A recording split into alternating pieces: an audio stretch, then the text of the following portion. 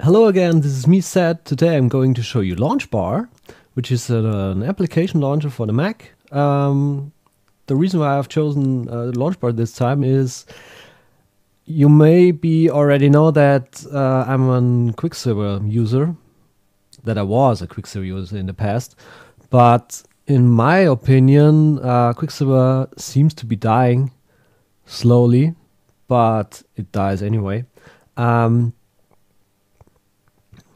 first of first, uh, the original programmer announced that he stops uh, developing Quicksilver and released it as an open source project. Um, now I've attended the mailing list on the web, and even the programmers who did the programming in in the meantime say that it's it would be better to uh,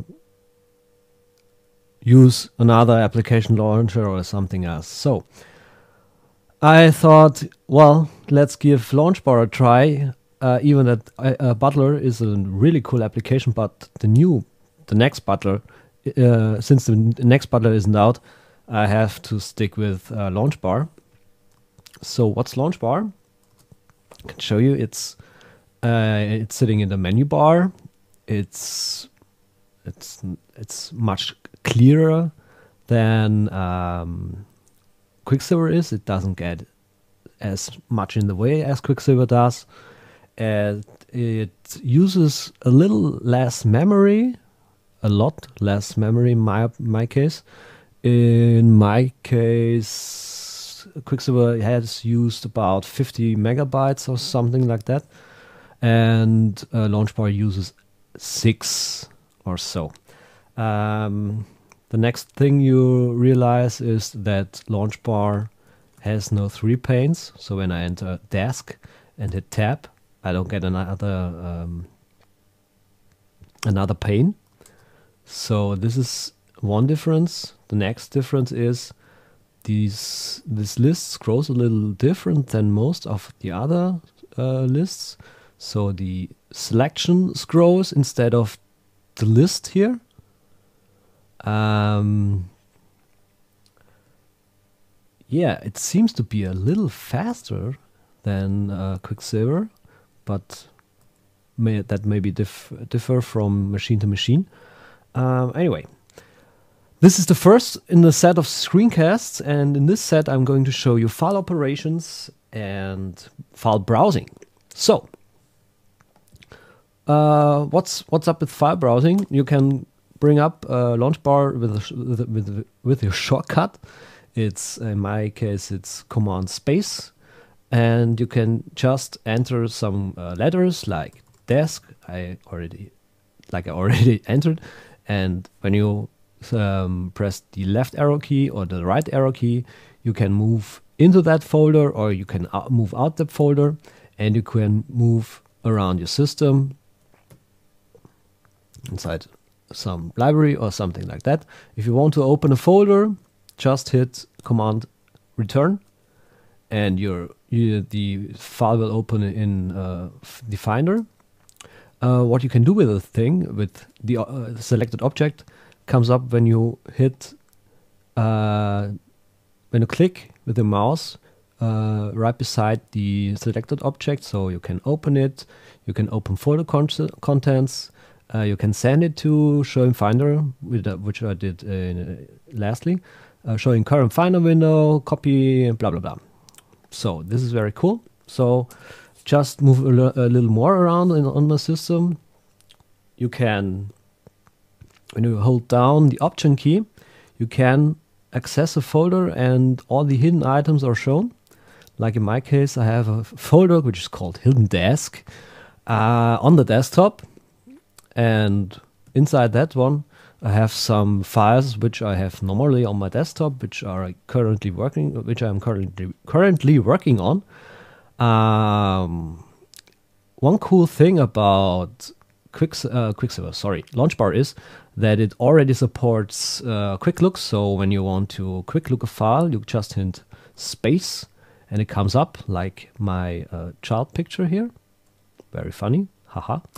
And you can instantly open it. So uh, let's say I want to open this folder. I just hit return and it opens in, in, in the Finder. Or you can open it or you, or you can bring your selected file to uh, Launchbar with instant open, which you can up bring up with command space and hold down the space key until you hear the sound. And you can see in that this icon, this little orange icon here shows you have instant send open and you can instantly send it to somewhere else. Um, or in my case, I want to just grab it from the Finder. So I select it in the Finder, go to Launch Bar, hit Command G. Now it's selected, and when I want to open it, I just hit, a, hit return, and there it is. It's empty. okay, so let's move this uh, thing around on the on on the system. So let's say I want to move it inside my hidden folder. I just hit Tab, Desk, Alt, right arrow, go inside that hidden folder or if I want to move it inside the folder I can just select it here and now I can drag it to hidden desk and when I hit enter now I get a little menu what I can do with this file I can make a alias, hard links, symbolic links and I can move it and copy it but when I press um, let's say